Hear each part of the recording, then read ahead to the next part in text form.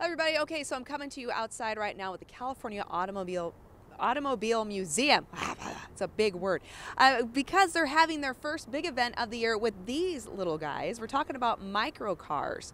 Very cool, very interesting. Um, but for those who are unfamiliar with micro cars, uh, I'm going to have uh, Carly kind of fill us in a little bit. Uh, what makes them so unique?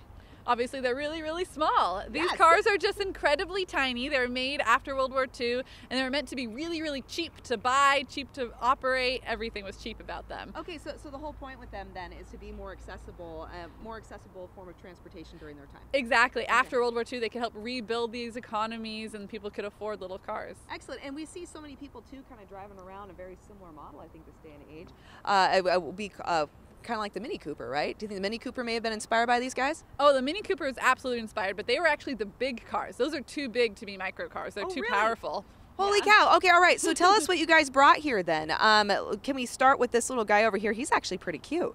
Yes, this is a 1991 Nissan Figaro. So this is a relatively modern one, and it's got that kind of nostalgic styling that Japan was doing for their old mini micro cars. Yeah. Okay. And how many people can you fit in one of these cars? Um, this car is actually a four-seater. There is a back seat back there, but uh, Todd, the owner, is very tall, so there's not really room back there right now. Um, but some of them, like the Multipla, is actually used as a taxi. This was in Italy. It's a 1966 Fiat, um, so you could actually fit a number of people in here and luggage. Okay. Yeah, I was going to say, Carly, that if anyone's ever spent uh, um, any time in Europe, you're probably pretty familiar with some of these models because these do seem to be a little more European, right? Yeah, European and Japanese. That's where microcars were actually popular and successful, were Okay. Europe and Japan. All right. So, I mean, clearly you could fit a couple people in this one. Uh, what about uh, one of these guys over here? Yeah, this is our smallest one, the 1970 Subaru 360. And these were designed for family. So they're super tiny, but they were intended to have two adults, maybe even three kids in the back seat there. This car is so cute. It looks like a little cartoon car. I swear I've seen a replica of this at maybe some of the amusement parks, right? Look how tiny those wheels are. Yeah, these are often called bubble cars sometimes because they're so cute and bubbly with the styling. That's absolutely adorable. Okay, so let's talk about the important thing here, which is gas mileage. Um, how much do you think it is to fill up on one of these?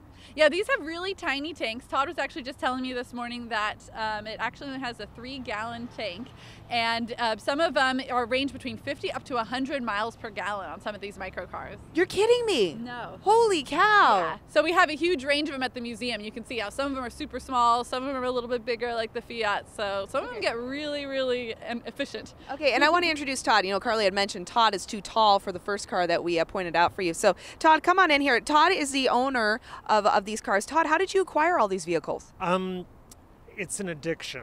Uh, I'm going to check myself into the Henry Ford Clinic. It's across from Betty Ford. Being six foot seven, I've always gravitated to the small cars, and so this is where I ended up. Uh, so, so I imagine you, you collect these, but do you actually drive in these? Do, can you fit in these? You're six seven. I drive them all the time. Really? If, Wow. if you don't have them, you, you, you why have them if you're not going to enjoy them? So you'll see me at the grocery store, theater, whatever. Drive, Driving- driving around your micro something car. fun. That is awesome. Okay, so Jason, come on in here because uh, we want to introduce everybody to the opportunity to come out and see these themselves. Tell us about the event that's coming up at the California Automobile Museum. Yeah, this Friday from 6 to 9, we're going to have, well, we're calling this our biggest exhibit yet because there's 25 cars. That's a lot because they're so tiny. And so we're throwing a big party for that.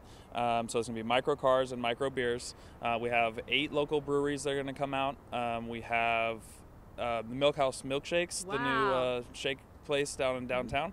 Um, and, and how do people attend? Do they just go to the website and buy tickets? yeah, go to our website at uh, calautomuseum.org forward slash pint size, and tickets are there. Uh, $40 for the public, 35 for members. Wonderful. Jason, thank you so much. Thank you, Todd. Thank you, Carly. Thank you, all of you, for joining us here on Sac and Co. We'll see you back here tomorrow as we bring value home at 9 a.m. Enjoy your micro cars.